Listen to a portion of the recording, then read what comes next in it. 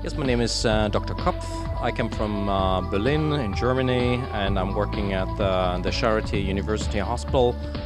Actually, it's the second time. I was here already, I think it was six or seven years ago, for the first time at the conference. Well, these were two rather unusual topics, so it was not about new drugs or new techniques, but it was about a problem which uh, became apparent in the last years that patients after ordinary surgeries often develop a chronic pain and uh, that is something I like to address and to describe what are the risk factors for it and what we can do maybe as a prophylaxis to prevent the development of this. And the second talk was about um, different factors which are influencing how we feel pain. Pain is not just uh, irritation of a nerve, it's how it is processed in our brain.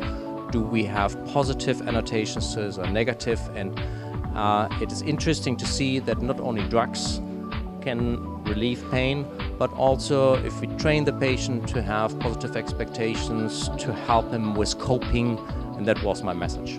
Well, I must say this is, uh, and I don't say it because I'm here, it's a perfectly organized conference because uh, you feel really well taken care of.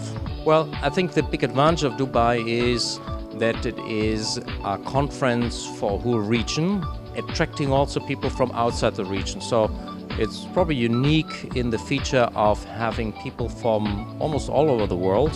And Dubai is centrally located, so probably it's easy to attract people coming here.